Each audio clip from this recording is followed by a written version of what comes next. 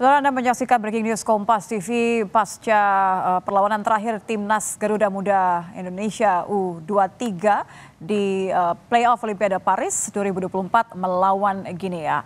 Dan uh, Komite Olimpiade Indonesia memberikan dukungan penuh untuk Timnas U23 di laga Playoff Olimpiade Paris 2024 yang berlangsung malam ini di Prancis melawan Guinea untuk merebut tiket terakhir ke Olimpiade Paris 2024. Ketua Umum KOI membagikan momen menonton langsung laga playoff Olimpiade Paris 2024, Saudara, antara Indonesia melawan Guinea di akun Instagramnya @raja_sabta_okto. Ia tampak menonton pertandingan bersama Duta Besar Indonesia untuk Perancis Muhammad Umar dan Ketua Umum PSSI Erick Thohir.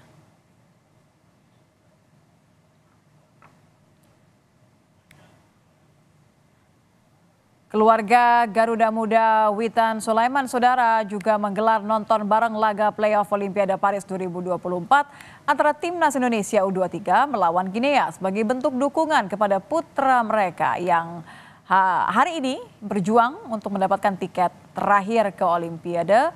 Garuda Muda uh, Witan Sulaiman. Keluarga menggelar nonton bareng laga playoff Olimpiade Paris 2024 untuk memastikan dukungan penuh diberikan sepanjang dalam laga antara timnas Indonesia U23 melawan Guinea.